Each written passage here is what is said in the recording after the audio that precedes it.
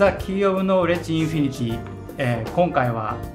ミッキー吉野スタジオバンドワークスを語るということでお話を伺います。よろしくお願いします、はい、よろしくお願いします。どうも。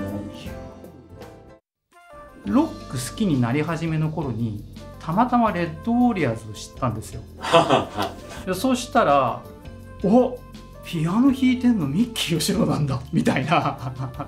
ところを結構最初すごいびっくりしたのを覚えていてですね。あ本当ですか？ロックンロールバンドの中で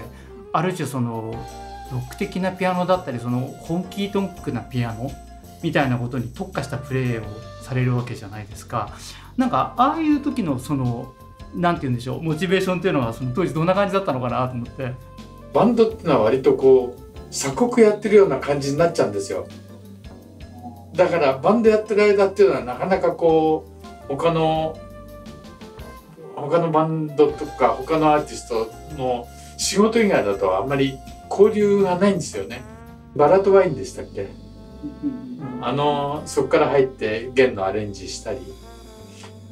ただもう一番覚えてるのはねあのあれキーがねすごいんですよ。ギターバンドだから関係ないじゃないですかここっちが弾きにくいキーなんてお構いなしだからあのピアノで B な B のねキーって弾きにくいんですよ。だからあの例えば C だったらでこの黒鍵をこうこうやってできるんだけどあのー、ダメなんですね。B だと逆なら黒鍵に発見から黒鍵とかそういう問題があってだからもう本当ね弾きにくいなと思ったんだけどまあそれをそんなねあの言い訳言えないからで結構楽しかったですよ。それはそれないで。ちょっと違った自分とすれば自分のフレーズというよりそれが一番印象にあるのとで最初の武道館やるんだけどって言われてぜやってくんないかって言われてだ武道館もやってるんですよ実は。実は僕その現場にいました観客として。マジですか？見てましたよ。あ本当ですか？はい。結構あれも楽しかったよね。いろんなそうしたスタジオワークとか他のアーティストの方のセッションワークって行った先によってやっぱり現場の空気ってまあ全部違いますよね。違いますね。僕ね一番面白かったのはそれは74年だっけかなあの僕一人じゃないんですよ。ミッキー吉野グループで後の五大悟なんだけど。五大悟全員が澤田さん澤田研二さんのツアーに行くんですよ。で向こうは井上バンドがいて井上バンドとこのミッキーバンドが一緒になってすごい大勢でギターも3人いるしキーボード2人いるしベースも2人いてドラムだけ1人だったんだけどでも あの頃は楽しかった楽しいっていうか面白かったですね。なんか派手なことやろうとすると本セクション入ったりとか弦が入ったりとか。でだから澤さんの場合はそうじゃなくていやバンドが2つあのバックアップしてる方がかっこいいだろうとかまあ楽しかったですね。今まさにあのね澤田研二さんジュリーさんのお話出てきましたけどまあジュリーといえばじゃないですけどね双璧をなす証券さん。証券ね。はい。はい証券さんのアンドレ・マンローバンドもミキさんは何枚ももちろんライブも含めて参加されて。ちょうどそれは85年の五代目が解散解散した時にまあインターミッションですけどその時にちょうどやっぱり高木さんに誘われてあ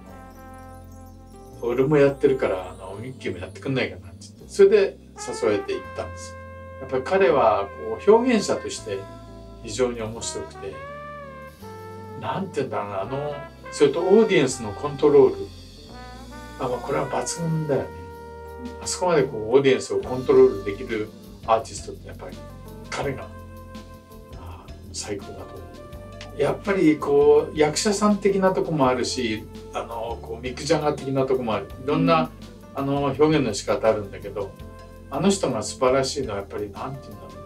うチョイスがすごいよね。だからだから僕の僕のプレーを生かすにはなんなどうやってこう何て言うんだろうな誘い出せばいいかとか分かるんだよね。だからあの過激なこと言い出すんだよガーッとこう。まあ言えないようなこともいっぱい言うんだけど。でそうすると僕がそれに答えてもぐちゃぐちゃっつってこうこんななったり。でこれが行われててそういうのがアドリブですよ全部でそこからバーンと音楽が入っていくとか。だから本当に楽しいステージだったんです。あの証券さんのアルバムって大好きで全部聴いてるんですけども日本のロックシーンの中でこれねもっと再注目とか再評価されてもいいと思うんですそうですね。やっぱりアートでありエンターテインメントでもあるのはやっぱり証券のコンサートだったんじゃないですかねジュリーや証券のお話でも出てきましたけども、うんと、井上さん？井上孝之さんっていうのは改めてミッキーさんにとって井上さんの存在っていうのはミッキーさんの中でどんな存在だったかなまあやっぱり GS の中では本当に音楽音楽をきちんとこう語れたりそれから音楽的に本当にあの先輩だったですね。でやっぱり GS 自体が受か入った時みんなでこう話してるんですけど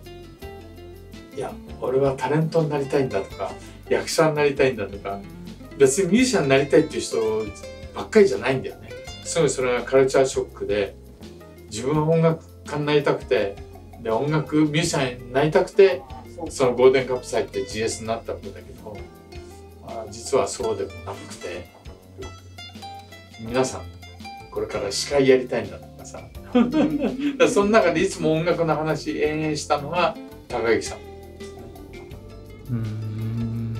じゃあやっぱりミュージシャンシップとして共鳴される部分はすごく大きかった。いや大きいですね。だから高木さんもいっぱいアレンジしたり演音楽もやるから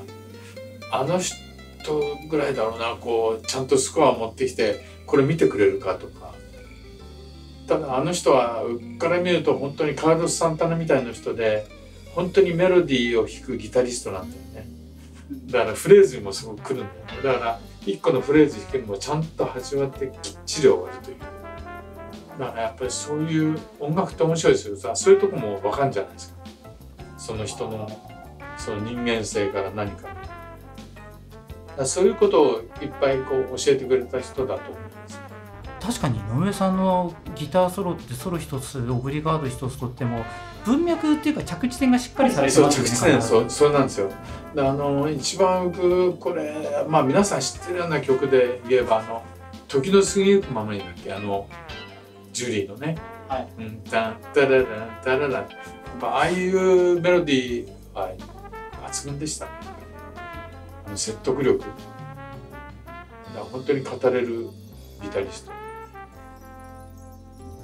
ミッキーさんのこれまでのやっぱり音楽キャリアの中でポール・ジャクソンさんもまた欠かせない存在の一人だったんじゃないかと思うんですが。そうですね。まあポールは何て言ったってあのファンクの元祖じゃないですか。それでやっぱり彼から学んだというか一番大きかったことはねあの彼もやっぱりファンクだけどやっぱりジャズもやるんですよ、ね、もちろんそうだけど。それで僕は実はジャズにコンプレックスがあったんだけどまあその一回セッションやった時に「お前何このなんていうの？臆病臆病な演奏してんだ」って言っちゃいけなって言われたんだよね。でええと思ったんだけど躊躇して演奏してなんか弱く弾いてたんだよね。そしたらすぐ見抜かれたんだよね。でジャズっていうのは違うんだよジャズは自由なんだと。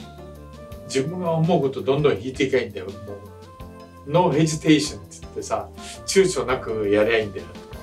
でそんな感じでまあそこからすごい楽になったんだよね彼と演奏するのがどんな難しいもんでも難しいなりに自分でこうガツンで弾いていけばいいんだなと。まあそこでこうだから僕のジャズへのコンプレックスを完璧に取り除いてくれたのはポールですね。ファンクの、えー、コーチだな。ファンクのビートの。それから彼からあいろんな直接一緒にやってあと学んだのはねやっぱりこういう R&B 系の人のやる8ビートは違うんだっていうのが分かった。ドゥンドゥンタンタンドゥンドゥンタンタンってなんかこう同じ8ビートでもノリが違うんだよね。だそういうノリの基本っていうもんを彼からいっぱいこう得た。それがやっぱり彼とやって一番感謝するとこかなと思いますね。今回スタジオバンドワークスを語るということでたっぷりお話をいただきました。はい。次回はいよいよミッキーよしのザ・ゴールデンカップスを語るということで結構面白い話いっぱいあるんじゃないかなと。改めて伺いたいと思います、楽しみにしててください。はいありがとうございました、はどうもありがとうございました。次回のテーマはミッキーよしのザ・ゴールデンカップスについて語るです。お楽しみに。